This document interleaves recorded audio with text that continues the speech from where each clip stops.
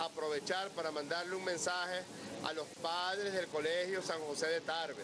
En este momento hay una asamblea donde representantes del candidato de la derecha está diciendo que nosotros vamos a expropiar, imagínense ustedes, imagínense ustedes la desesperación, están diciendo que vamos a expropiar el Colegio San José de Tarbe para construir allí no sé qué, un colegio que además es patrimonial y que tiene la característica que nosotros respetamos muchísimo, que es una institución educativa privada, pero es una institución educativa. Yo quiero aprovechar estos medios para señalarle y ojalá lo puedan pasar lo más pronto posible porque me comentan que en este momento está ocurriendo esa asamblea.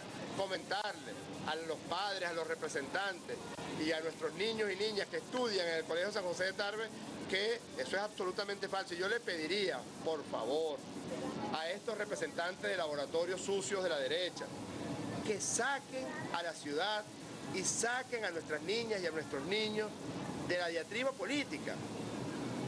Lo que constantemente intentan hacer es agredir a la ciudad. Vienen a la Plaza Ibarra, entonces llenan la fuente de la Plaza Ibarra de pintura roja.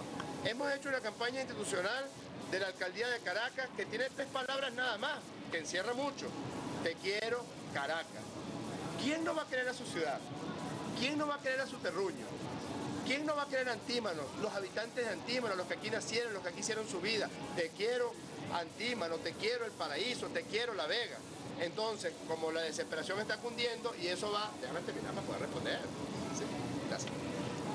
La desesperación está cundiendo y eso va a ir incrementándose en los días que se acercan para las elecciones del 8 de diciembre, yo les pido en primer lugar a estos sectores de la derecha que sus laboratorios sucios lo dirijan hacia mí que yo no tengo ningún problema en no hacerles caso, pero que no utilicen y agredan la ciudad de Caracas, que no intenten sembrar zozobra y angustia en personas que además son cercanos a ellos.